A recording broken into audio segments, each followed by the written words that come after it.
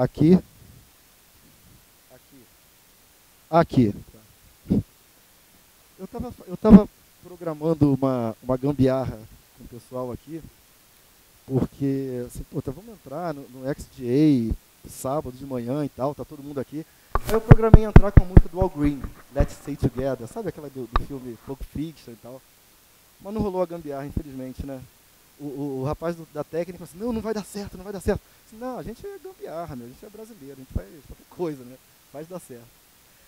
Legal, é, quero agradecer muitíssimo a todos que vieram aqui pela manhã. A noite ontem foi bacana a beça, né? Eu fui, é, a galera que foi lá pro, pro temático, que foi pro Café com Letras, que foi pro, sei lá, pro lounge. Cadê o Felipe? Jonas Felipe falou que foi para um lounge não sei das quantas, que tem música contemporânea, não sei o quê. Eu fui lá para a galeria, fui para o edifício Maleta, para começar a história. Né?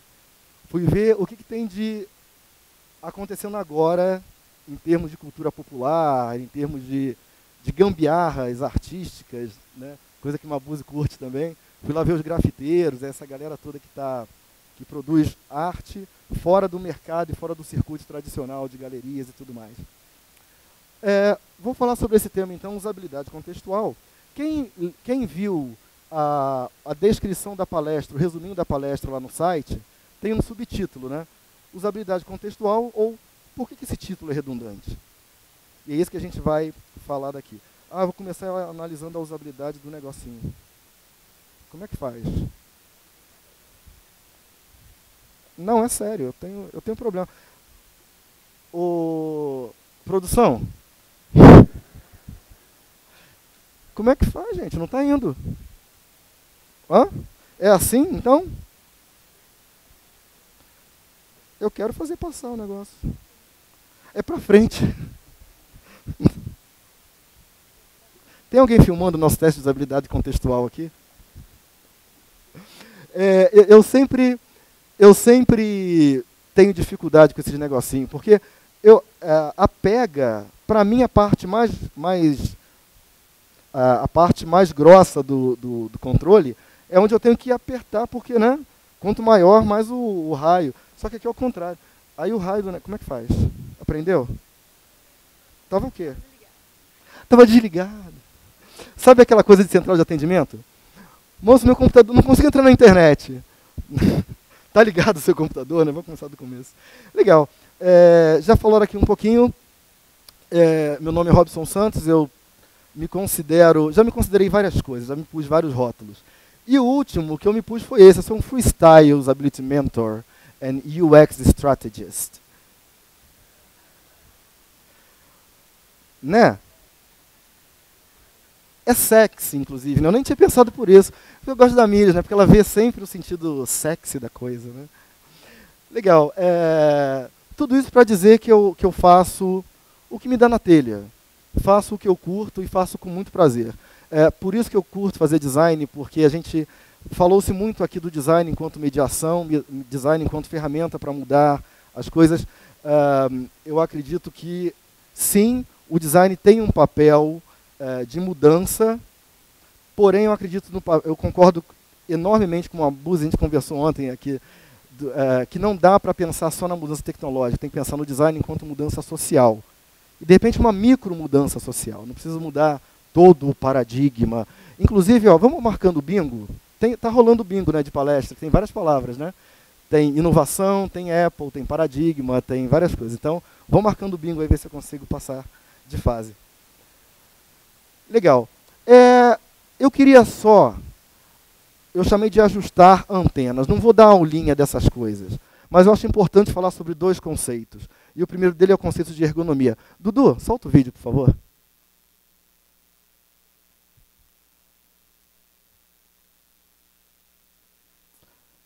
Tem um botão de play ali. Ctrl, é Command F para ficar a tela cheia.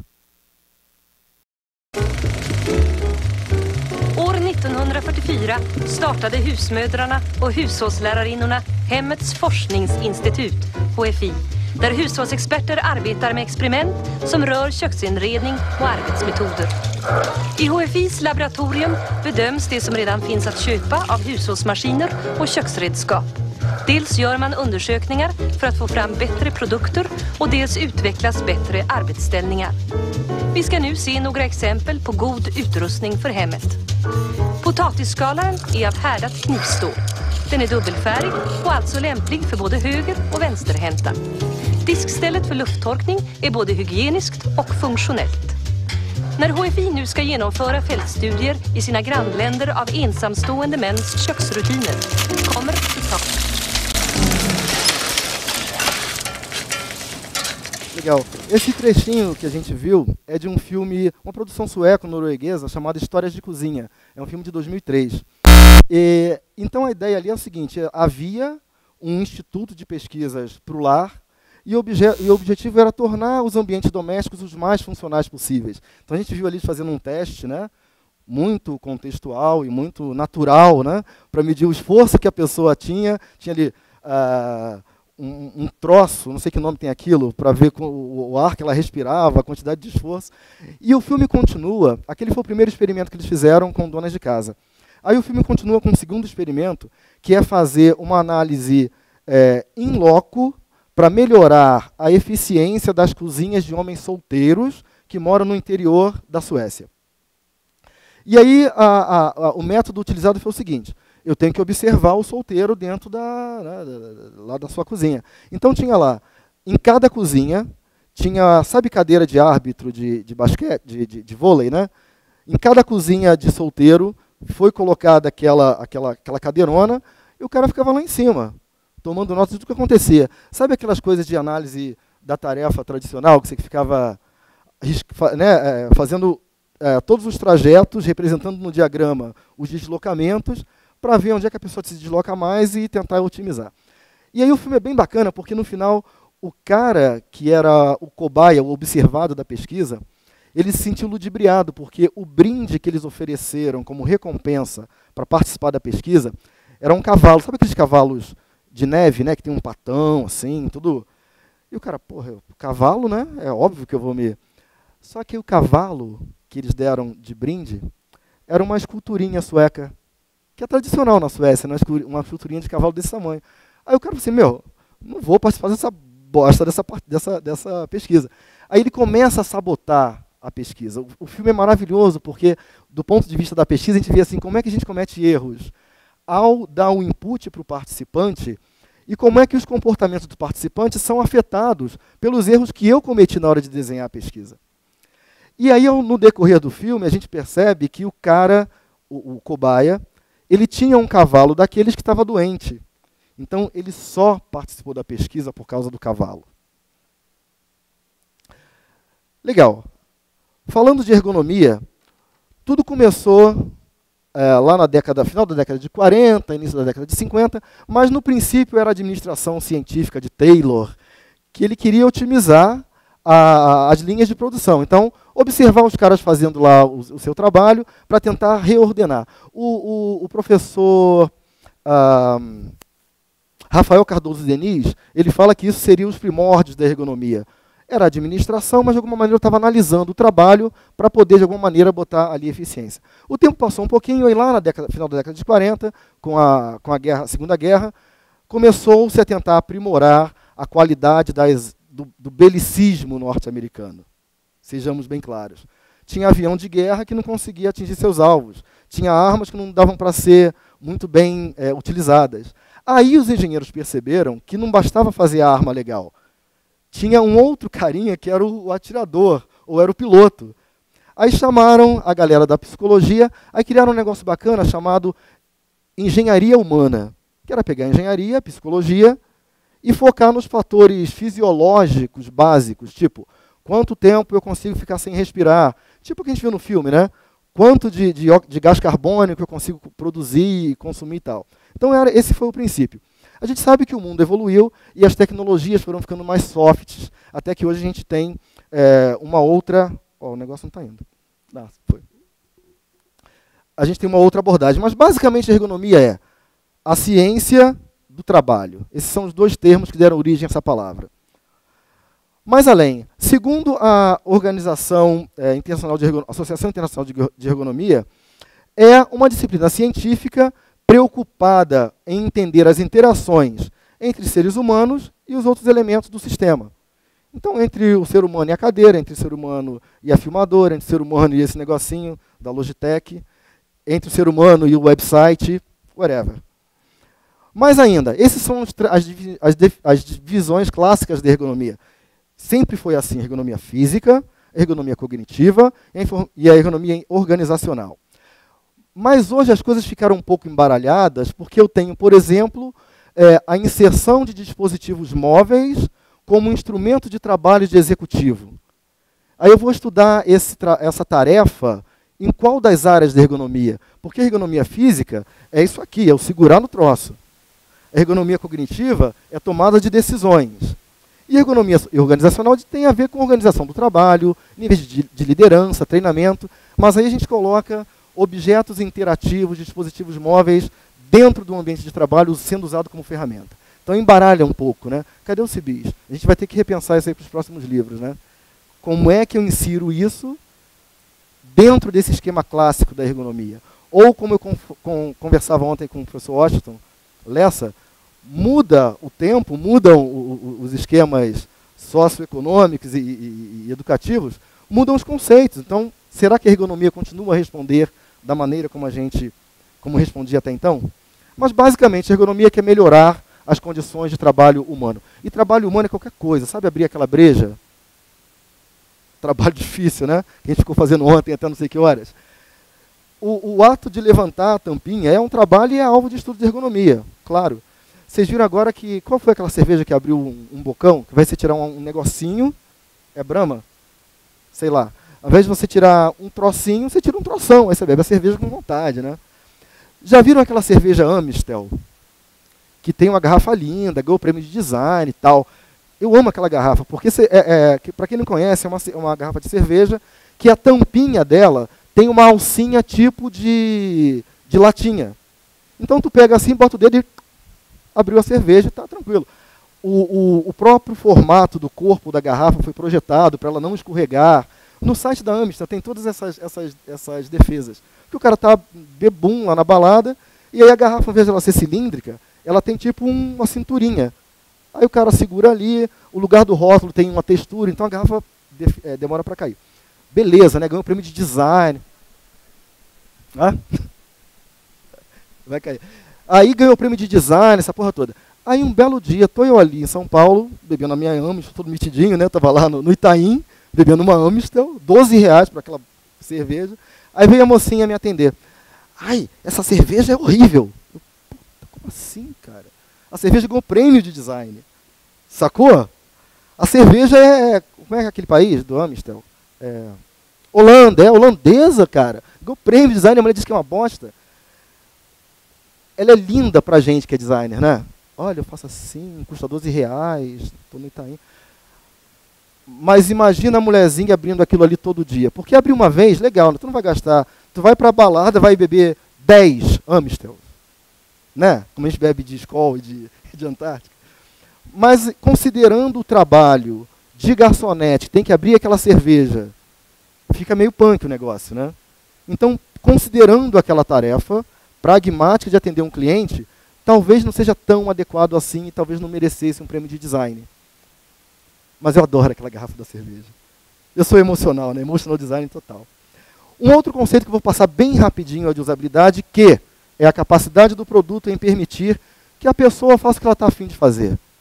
Eu quero ir lá no banco e tirar um dinheiro no caixa eletrônico, consegui fazer, beleza. Ah, estou afim de mandar um SMS. O cara estava afim de fazer alguma coisa, tinha um objetivo, uma preocupação. Então, se o sistema, o produto, permite que o cara faça isso aí, está feito. Porém, a gente pode decompor ainda esse, esse conceitozinho aí em três fatores.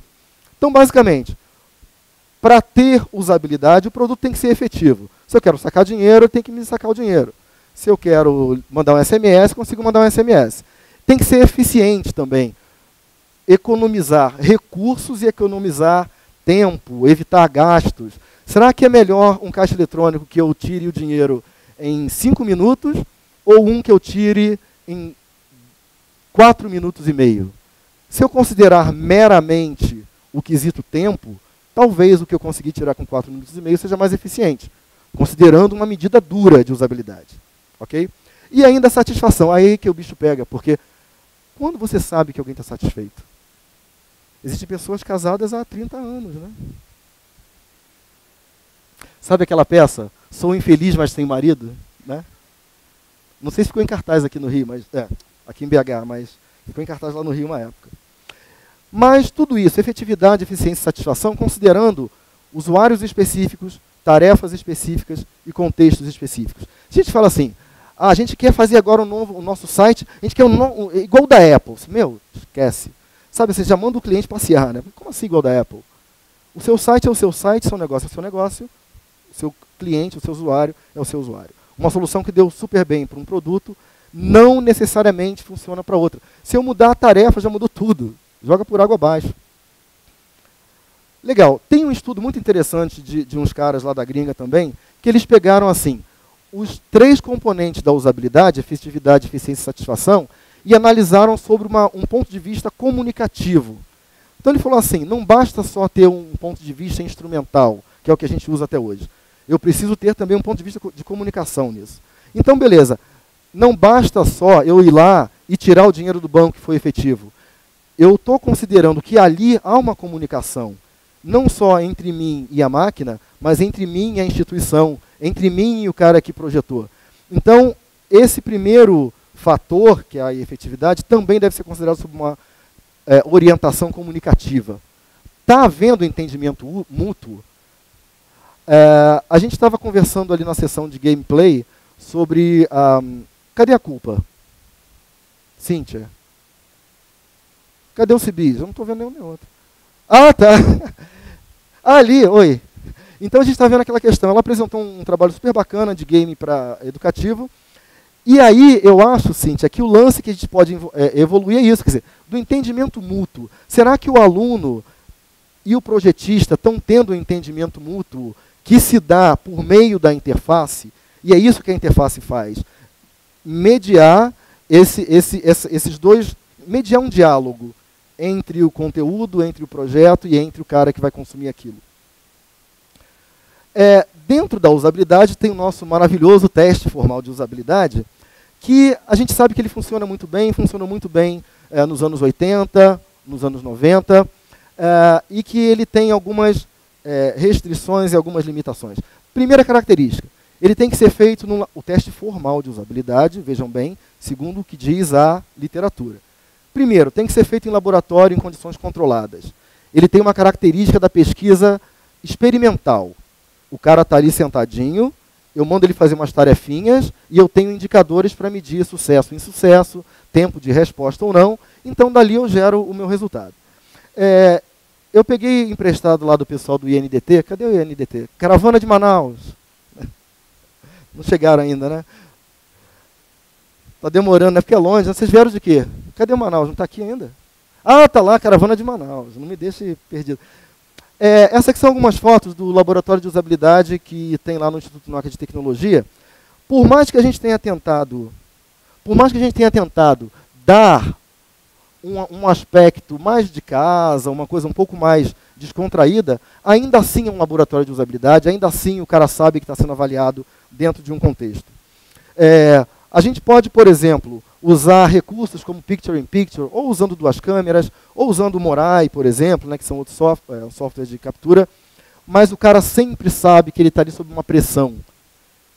É, é óbvio que o teste de usabilidade formal ele é bacaníssimo, nos traz resultados muito bons porém ele não dá conta da interação no ambiente real dentro de um contexto. E aí eu gosto bastante de falar de estudo contextual de usabilidade e não de teste contextual de usabilidade. A gente está ali para aprender com o cara, a gente vai estudar com a realidade, com o contexto do cara.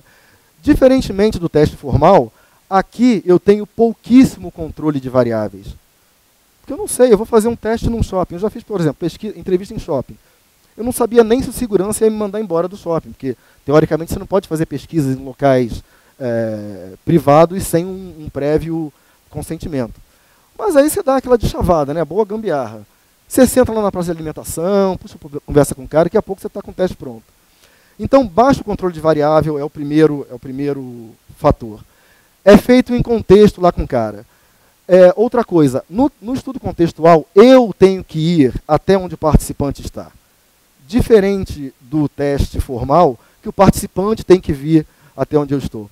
Por exemplo, a Fran sabe muito bem, quando a gente estava lá em Manaus, quando eu estava, né, ela ainda está, que para levar o cara do laboratório a gente tinha que armar mil esquemas, porque não era muito próximo da cidade.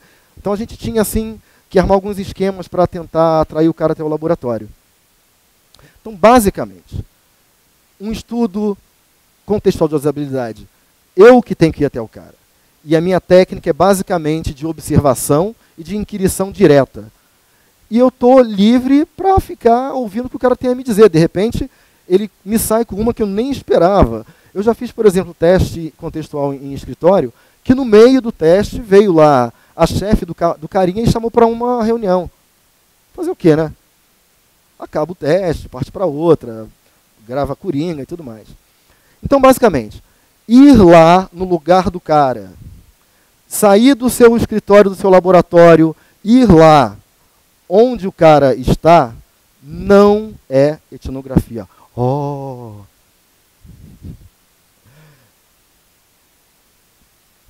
Que bomba então é essa de etnografia?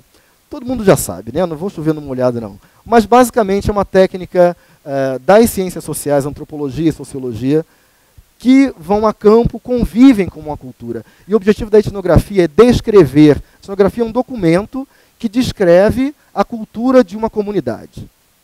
Claro, estou fazendo uma definição muito por baixo, mas é basicamente isso. Basicamente, é uma descrição da cultura de uma comunidade. A gente não faz isso.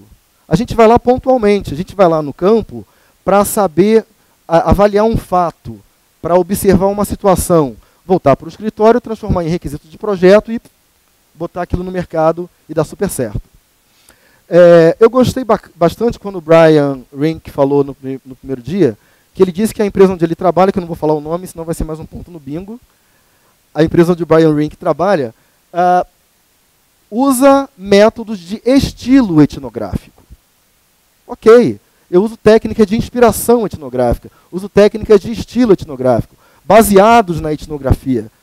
É, a gente não inventou essas coisas, a gente não inventou a observação em campo, a gente não inventou a entrevista, a gente não inventou grupo de foco, a gente não inventou nada. A gente pegou tudo isso das ciências sociais, da comunicação e aplica dentro da nossa área. Isso é uma coisa bacana dentro do design, e particularmente do design de interação, que a gente tem essa perspectiva esponja de ir pegando técnicas que surgem, pegando coisas tanto da área de TI, tanto da área de humanas, da área das artes, em prol de, de, de promover um artefato que promova uma boa experiência. Basicamente, eu vou falar aqui, contar alguns casos que aconteceram ao longo desses tempos, é, exemplificando é, alguns trabalhos de campo que eu fiz com a ajuda de colegas, obviamente. Então, a gente tinha lá em Manaus uma quando eu trabalhava no INDT, junto com a Fran, Tâmara, que está ali na caravana, a gente tinha esse desafio. Como obter insights para soluções em dispositivos móveis? É, é uma indústria extremamente competitiva, é, que o tempo todo tá, tem coisas acontecendo, aplicativos e tal, é, mas eu não queria ficar só baseado naquilo que a gente vê na internet, sabe? Ah, vou googar aqui aplicativos e viver. Então, basicamente, a forma que a gente encontrou de obter insights para soluções em dispositivos móveis é ir lá no cara e entrar na vida dele de alguma forma. Esse foi um trabalho que a gente fez lá nas Redondezas. Essa é a Francimar, que está ali atrás, né? minha queridíssima amiga. A gente começou a usar uma, a técnica do Street Capture, que é totalmente informal. Você sabe o que você quer, mais ou menos, vai andando pela rua, e aí você para e conversa com os caras. Vem cá, como é que você costuma fazer esse tipo de coisa? Ah, você tem celular? Qual é seu... Um bate-papo informal com as pessoas na rua. Não tem muita pauta, não tem muito. É, não tem nenhum controle de variável, porque imagina, a gente estava numa borracharia, o outro caboclo ali com, com o braço enfaixado. É, mas daqui a gente começa a extrair alguns dados reais, porque as pessoas usam aparelhos celulares e elas é, usam nesse contexto. Elas não usam celulares dentro de um laboratório de pesquisa.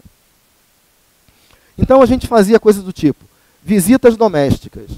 É, esse, esse projeto em particular, é, a gente estava tentando obter informações de como entregar uma solução para meios de pagamentos mobile.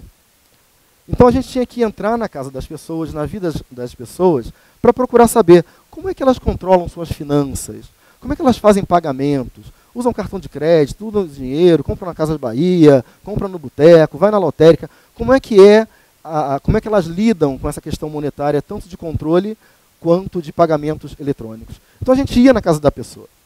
A gente pedia provas do que elas fazem. E isso aqui é uma coisa bem bacana, a, as provas culturais que a Fran adora. Né? quando a gente faz teste de, em laboratório, ou pesquisa baseada em laboratório, a gente fala assim, olha, é, então vamos agendar a nossa conversa no dia 10 de dezembro, você, por favor, venha e traga alguns elementos que você usa para controlar suas despesas. Por exemplo, a conta de luz paga, você pode trazer também é, o seu caderno de anotações, blá, blá, blá, blá, blá, blá. O cara traz? Não. Um traz, a maioria não traz. Mas se você vai na casa do cara, é bacana porque é, dependendo da abordagem, da conversa, do salam alek, você fica ali, o cara te entrega tudo. Ele te entrega tudo. Então a gente acaba tendo acesso a isso, a conta de luz que o cara. Cadê? Como é que faz? Ah, que o cara pagou ou não pagou. Foi uma, uma, parada assim, bastante rica, porque é, a gente acabou tendo acesso a informações muito pessoais da, da, das famílias. Porque no final começa a rolar empatia, eles começam a sacar que a gente está interessado neles como pessoas que detêm a informação que me é importante. Então, o primeiro passo para a gente fazer trabalho de campo é me colocar na posição de aprendiz com aqueles caras. Diferentemente do laboratório, que a gente é meio que, eu sou o pesquisador, por favor, sente-se aqui, fica à vontade. Ali não, o cara está me convidando para a casa dele. Eu estou sendo um intruso. Aí tinha coisas, por exemplo, a gente fez uma pesquisa lá em Recife, parte da pesquisa numa área de baixa renda lá no Recife. O pessoal era uma pesquisa, sabia lá o que era pesquisa. A gente chegou, levou café da manhã para os caras, montou uma mesa, bateu papo, deu todinho para o filho deles, não sei o quê. Os caras no final falaram assim: Nossa, eu não sabia que pesquisa era assim. O cara, ele, ele era capoeirista, não sei o quê. O cara curtiu tanto, curtiu tanto. No final ele deu pra gente uma, uma medalha de capoeira que ele tinha lá. Eu achei muito foda, porque imagina, tu vai lá, para aprender com o cara. Você, inclusive, leva um, um, um, um, brinde, né? Era um vale compras da americana, sei lá. E o cara curte. Então, isso assim, isso é bom demais. Aí a gente estava precisando de algum participante. Olha, a minha vizinha aqui de cima. Assim, cara, eu não vou desperdiçar mais um, mais um participante da pesquisa, né?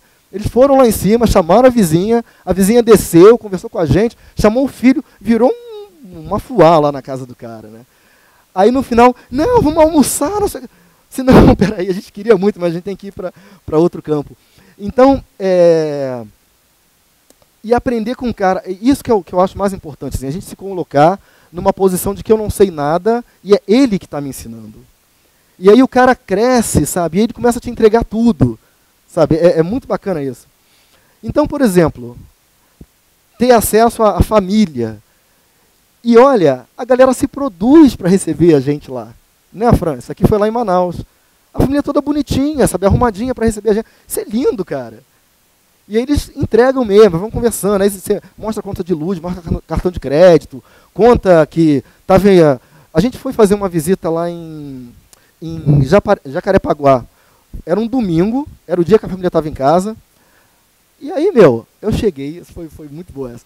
Eu cheguei e estava lá a dona de casa no churrasquinho dela, aquela coisa de, né, Zona Oeste Carioca, né, ouvindo um sambinho, ouvindo uma cerveja. Chegou lá, ei, vem beber uma cerveja, não sei o que. Não, peraí, não posso, estou em trabalho, né.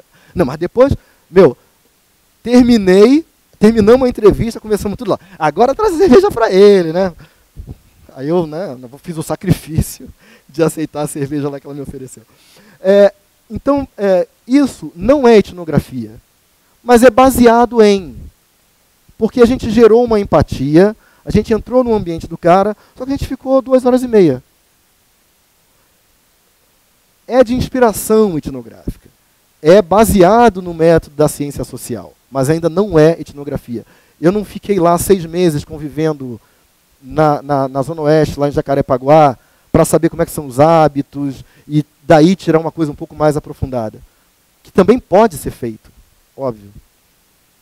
Como é que passa isso? Como é que eu posso entregar experiências ou entregar artefatos que melhorem a experiência e soluções de mobile? Indo lá na rua, mais uma vez, street capture. Você vai e começa a bater papo com as pessoas. Essa dona aqui, eu, eu amei essa, essa, essa negona aqui, porque é, é a típica, sabe, é quase uma mãe de santo, sabe? Ela era grandona, matrona, sentava na cadeirona lá da família, falava pausadamente, não sei o quê, foi um barato. Essa dona aqui também é um barato, ela estava num, num, ponto de ônibus, esperando o ônibus da. Isso foi em Manaus, esse aqui. Esperando o ônibus que ia levá-la para a escola, a escola pública. E aí a dona tinha vários celulares. E era tudo chique, sabe? Um rosinha, outro era vermelho com não sei o que, era tudo no último, ela com a pintada de sei lá que cor, mas era toda. E aí o legal é que a gente acaba com aqueles preconceitos, né? Ah, é classe C, é classe C e D, é não sei o quê.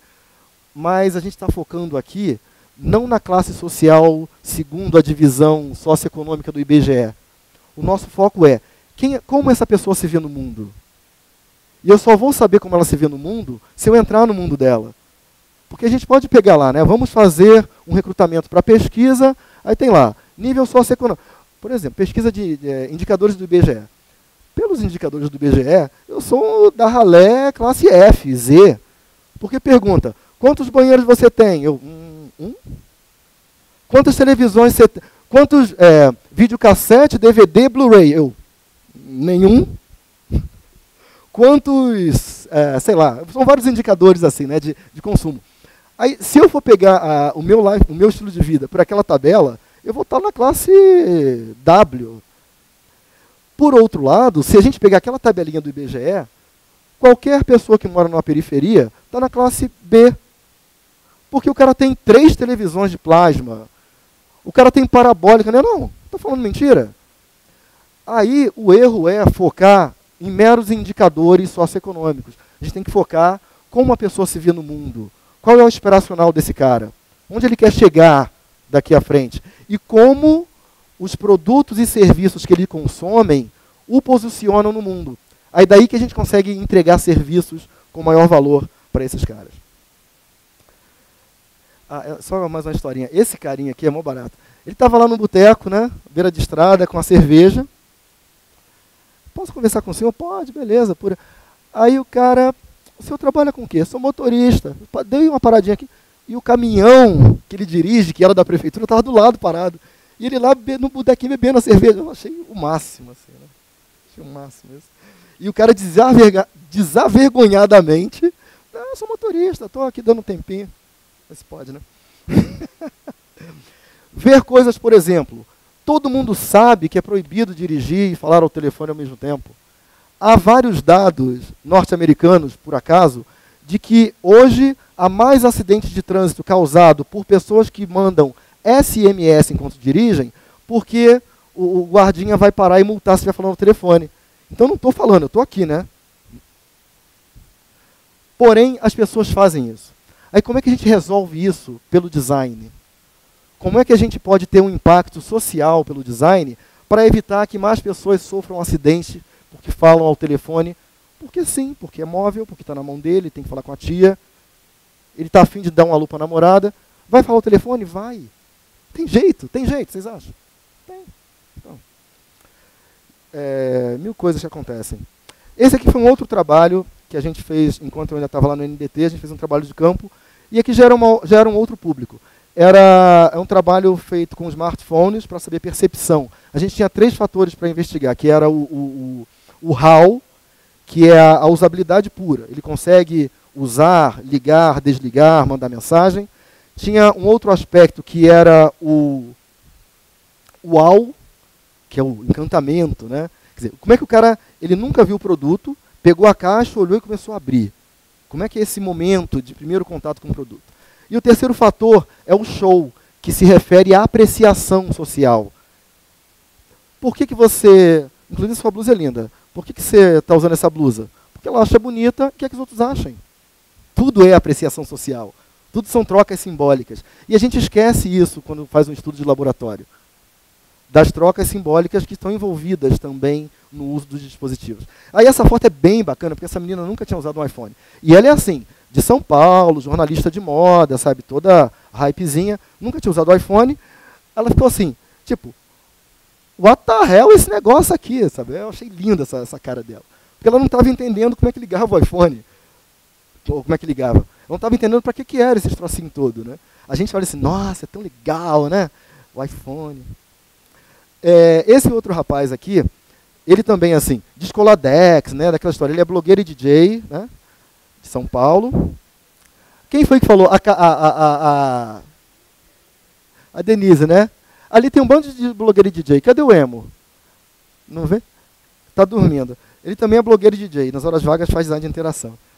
Aquela, da, a Denise que falou, né? balança uma árvore, tem 10 pessoas, balança uma árvore, cai 20 DJ e 20 designer ali. E tem que cair mais 20 blogueiro, né? Ah, sim, esqueci. Então esse cara, apesar dessa coisa toda, São Paulo, hype, ele é DJ mesmo, toca na noite lá, é o Gus. Ele só usa celular que custa menos de 100 reais. Ele não está afim de gastar dinheiro com celular, com smartphone. Primeiro, porque ele é um doido. Ele anda lá pelo Augusta a pé, pelo centro, né? e não quer ser roubado pela quarta vez. Então isso é coisa engraçada, porque não dá para falar assim, ah, ele é classe B+. Ele mora numa região metropolitana, tem um nível sociocultural elevado, vai usar smartphone? Não. Porque ele está numa outra pegada. celular para ele tem uma outra pegada, ele sabe que não quer ser roubado pela quarta vez. Outro, outro projeto bem interessante, esse foi desenvolvido enquanto eu estava trabalhando na Try, consultoria e pesquisa, foi um projeto que eu amei fazer. Como desenvolver interfaces para sistemas embarcados em máquinas agrícolas. Era um sistema mega. Tinha a, a, parte embarcada na máquina agrícola, tinha um portal para gerenciamento de informações da produção e ainda tinha uma outra coisa, que, ah, que era um mobile. Vocês já dirigiram um trator, colhedeira de. Já, né? Todo mundo aqui já, já fez isso, né? Eu também não, meu. Como é que eu vou é, desenhar um negócio para isso? Eu, ah, eu tirei uma foto que tinha eu subindo na máquina aqui. O único jeito é pegar um avião, um carro, um jegue, o que for, e a gente fez isso tudo, inclusive, para chegar lá no Cafundó. Cafundó não, Cafundó é aqui em Minas, né, inclusive. Para chegar lá no Paraná primeiro e, e, e conversar com os caras. Então, esse cara, que é o operador de máquina agrícola, que nasceu em fazenda, que faz disso seu ganha-pão, é ele que vai me dizer como vai ser esse projeto.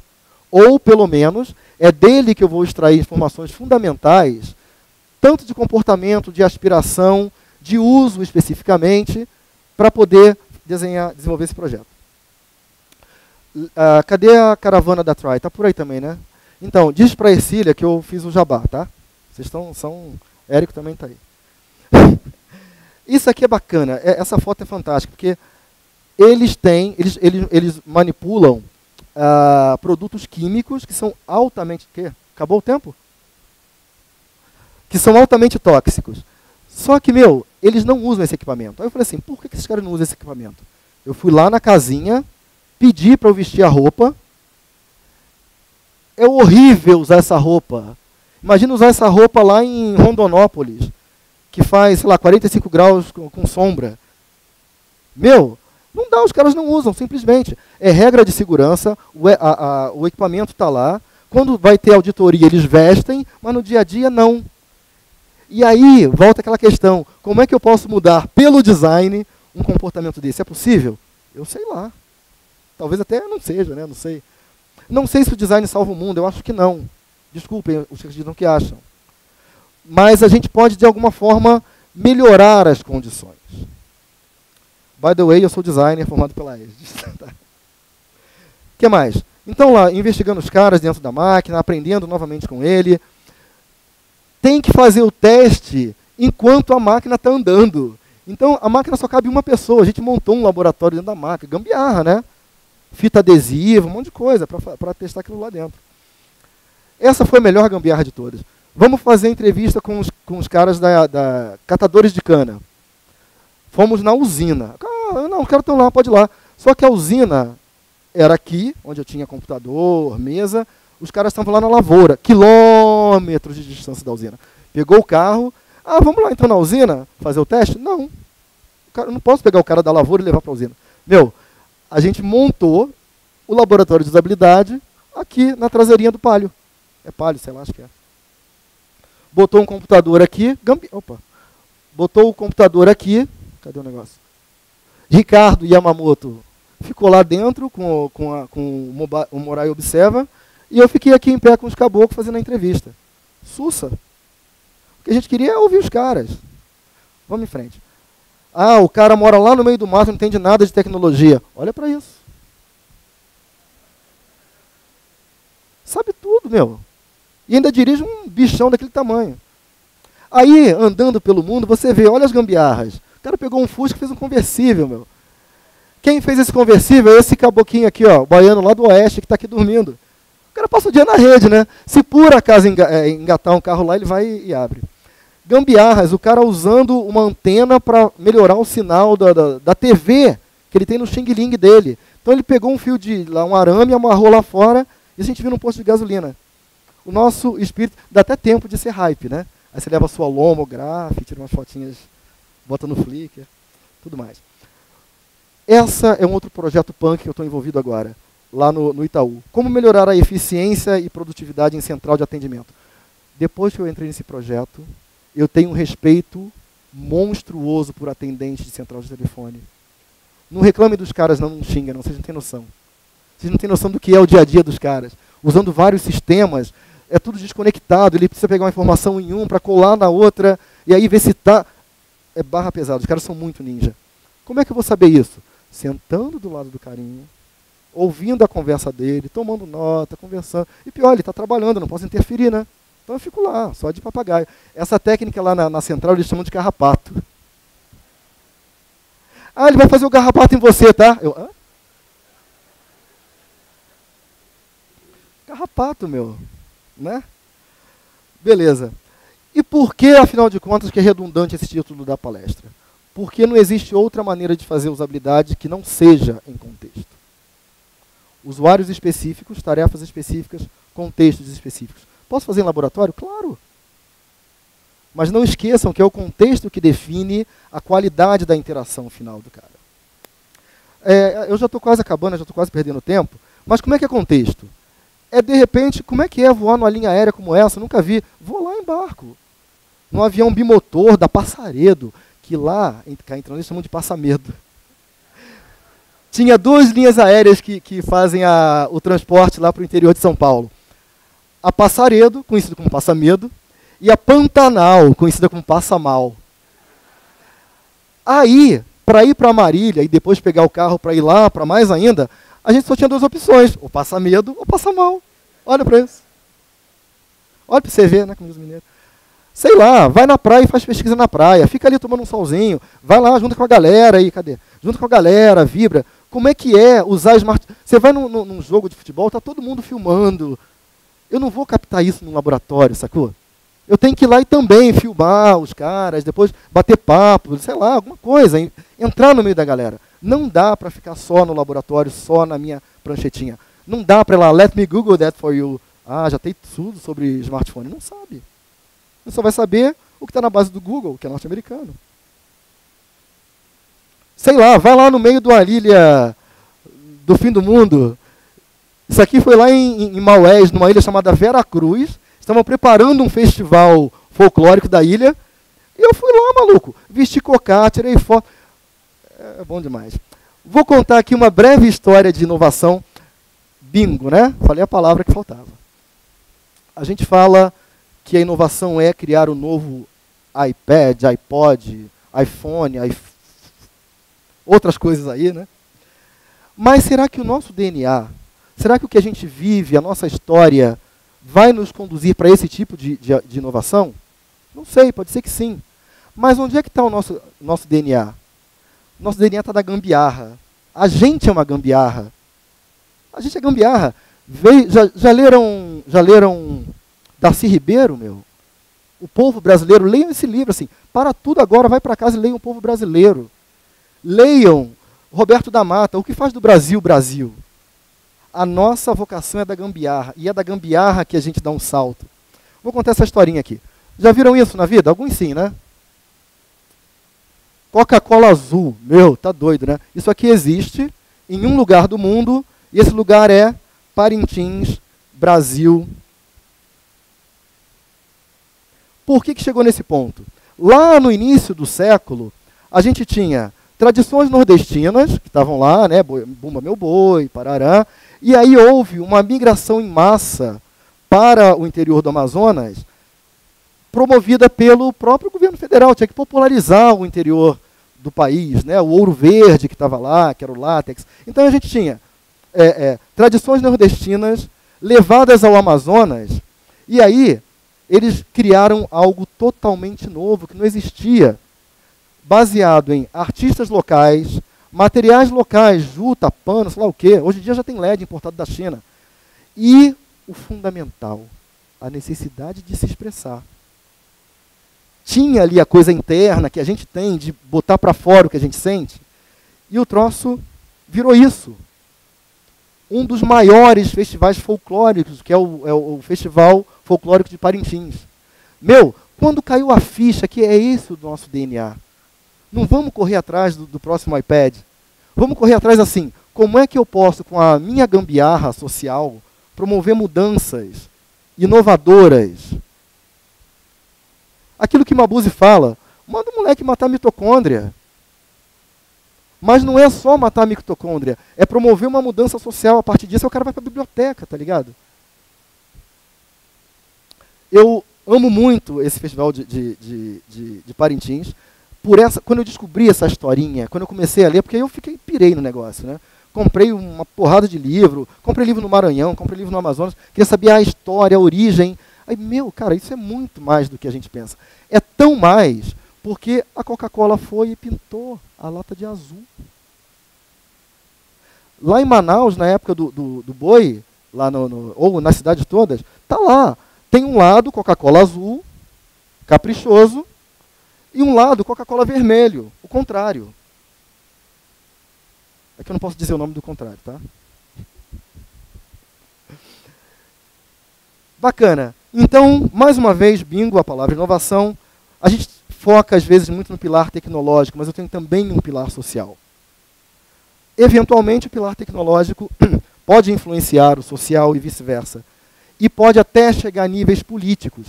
Porque pintar de azul a cor da Coca-Cola é uma negociação política que começou de um pilar de transformação social. Lembra lá, nordestino, Amazonas e tal. É, então não dá para eu pensar somente em um aspecto. Então se a gente quer, como diz o livro do Tim Brown, se a gente quer fazer a mudança pelo design, eu tenho que pensar, de onde é que está, onde é que a mudança tem que ser feita? É no Silicon Valley? Talvez em parceria, mas não dá só para pensar nisso. Eu acho que a mudança se dá pela gambiarra. Honestamente. Sabe, lá em casa eu, é, eu comprei lá café pilão, Puta, abri o café e aí? Peguei a nossa solução mais básica, pregador de roupa, tuf, tá lá. Eu vou comprar um negócio Ziploc, né? Carece não, meu, tem lá já o negócio. Legal. Essas são algumas referências que eu usei nesse trabalho, depois vocês podem pegar. É, são, é, são referências daí do design de interação. E esse livrinho aqui, ó, é uma série bem bacana. São cinco livros. Esse aqui, Designing em Conducting Ethnographic Research. Eu ganhei de presente da Fran, Maciel, que está lá. E eu já ganhei o segundo volume de presente do Lanusse, que está lá no Rio de Janeiro. Lanusse Castro, conhece, Mabuza? Lá de Recife. Que, enfim. Legal. Mas eu queria também deixar umas diquinhas aí, né, antes de terminar. Leiam bons livros, assistam bons filmes, bebam bons drinks, Legal. É, opa, desculpa. Então, legal. A gente tem aqui Roberto da Mata, o que faz do Brasil Brasil. Fala da malandragem, sacou? Por que a gente é o que é? Eu esqueci de botar aqui o, o nosso o senador é, Darcy Ribeiro. Manifesto Comunista. Todo mundo tem que ler isso. Sendo comunista ou não, não estou falando aqui, sabe? Para conhecer o mundo que a gente vive. Esse livrinho aqui, ó, o, Alain de Botton, Prazeres e Desprazeres do Trabalho. É um livro fantástico. Alain de Botton é um, é um, é um filósofo belga que estava no, tá no Brasil esses dias. Fez palestra em Porto Alegre, Rio e São Paulo. Alain de Botton ele pega a filosofia e coloca ali no dia a dia. E esse livro é bacana porque ele fala, ele investiga o trabalho sobre essa ótica humana e refletindo sobre qual é o papel do trabalho na vida das pessoas. E o que a gente produz aqui de design de interação não é for fun. A maior parte das interfaces que a gente usa não são prazerosas e cantadoras. É, sisteminha do imposto de renda. Tem que usar, não tem? Tem que usar. Não é for fun. E ele tem que ser bem projetado. Uh, o sistema, sei lá, do seu banco que você usa. Espero que vocês usem o banco mais sustentável do planeta. Vocês não escolheram, ele está lá, vocês têm que usar aquele, tem que ser bem feito para vocês. Cadê a caravana Itaú? Está aí ainda? Isso aí. Bacana. Filminhos legais. Aquele trecho que eu mostrei é desse filme Kitchen Stories ele é um filme sueco, barra dinamarquês. Esse livro, Beleza das Máquinas, que é esse branquinho, é bem legal. Ele fala da engenharia e da busca da beleza. E a beleza é uma junção da simplicidade, da eficiência com a elegância. A beleza não é pintar de rosinha. A beleza, assim, o troço é, é simples e é eficiente. Aí você já vê a beleza. E aí a beleza está nos olhos de quem vê literalmente, porque uma equação bem resolvida é bela para o matemático. Uma cadeia lá de, de moléculas bem composta é bela para os olhos do químico. Um código super foda é massa para o developer. Para mim é um monte de letrinha, né? Mas para o cara é massa, porque está ali essa coisa de web semântica, o cara fazer bem a CSS, desenvolver bem um é belo. Inclusive quando você olha, mesmo sendo leigo em desenvolvimento, se você vê que a indentação está legal, tem ali uma estética, sabe? Então, eu acho legal a gente começar a olhar para a beleza é, a partir de outra perspectiva, inclusive da perspectiva da engenharia. Não só somos designers, né? Aquela coisa meio metida. Tem o livro do Chaplin, o filme do Chaplin, mas tem um filme que inspirou o Chaplin. Sabe aquela cena? É, o Chaplin é o tempos modernos, obviamente, mas aí tem um livro chamado Anula Liberté do René Clair, que foi filmado em 1926 e o do Chaplin é de 39, se eu não me engano, ou o contrário, sei lá. Mas no, no filme do René Clair, começa com uma linha de produção de presidiários montando cavalinhos de madeira, que é exatamente a sequência que o Chaplin mostra lá dos carinhas montando a. E o Chaplin se inspirou mesmo nisso. Então é legal ver isso. Dançando no Escuro, vocês viram esse filme? Que a Bjork surta no filme. O filme é bacana porque ele mostra ali a questão do trabalho. Ela está ficando cega, vai trabalhar então ela repete o trabalho. Então tem, tem uma discussão ali bem é, que permeia o filme, que é a visão do Lars von Trier, de que o mundo do American Way of Life não é tão lindo assim. Bota o cara para morrer na forca, porque não pode botar para morrer na forca o, o, policial que tem uma mulher linda e loura. Então bota a, a imigrante ilegal no país. Então fica a dica. Acho que já acabou, né? Enfim. Última mensagem: todo designer deve ir aonde o usuário está. Dudu.